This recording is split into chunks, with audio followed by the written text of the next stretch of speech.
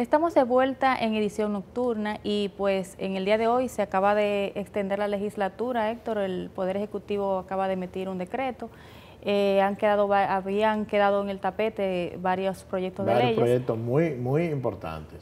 El Código Penal, que se ha visto muy eh, cuestionado en estos días, o sea, muy reclamado porque se ha colocado ya 16 veces, 16 informes eh, positivos, sin embargo todavía no se logra un consenso por temas como el aborto, por ejemplo. Sí, sí, el, aborto, como yo digo abortado, el Código Penal es una lástima porque el Código Penal, el nuevo, o sea, el que, el que ya ha sido aprobado y no ha podido entrar en vigencia, contiene una serie de cambios, una serie de innovaciones que deben, eh, o sea, es urgente que entren en vigencia. Eh, el principal problema que nosotros tenemos en el país, lo dicen todas las encuestas, es la inseguridad.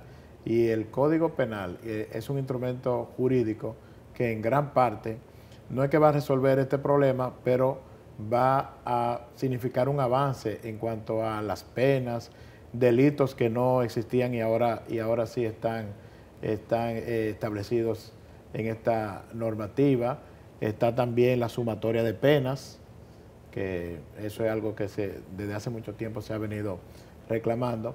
Y por el tema del aborto, resulta que no hemos podido tener un código penal. Sin embargo, en esta legislatura, eh, la prioridad también, una, otra de las prioridades es la ley electoral. Nosotros aprobamos una ley de partidos.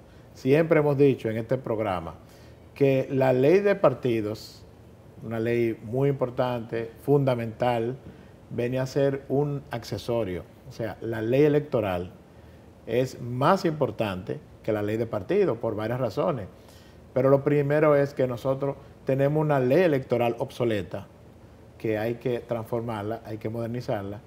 Y la ley de partido simplemente era un complemento de este, eh, del sistema que podía llamarse código electoral.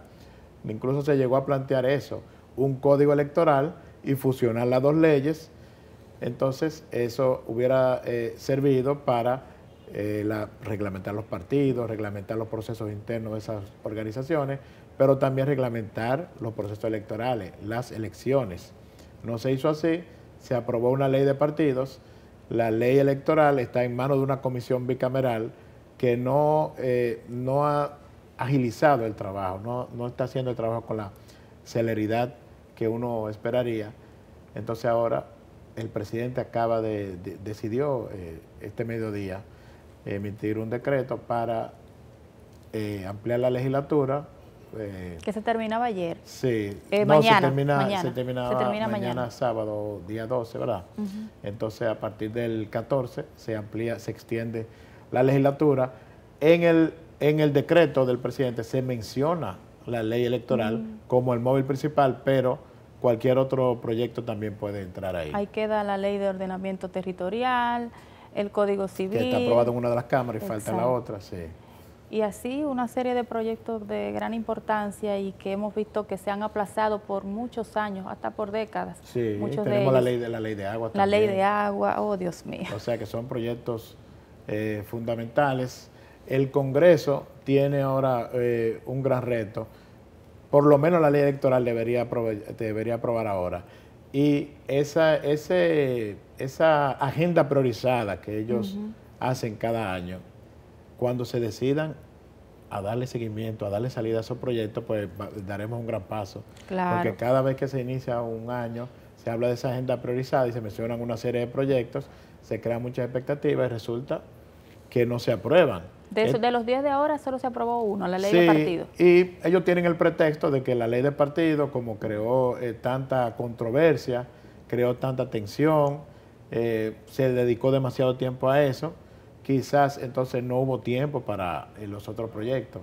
Pero ahora yo creo que no hay razones para que no se, no se agilice el proceso de conocimiento de estos importantes proyectos. Bueno, y hasta aquí nuestro segmento de comentarios. Vamos a una pausa y cuando regresemos tendremos como invitado al señor Casimiro Ramos, director del Fondo Especial de Desarrollo Agropecuario FEDA.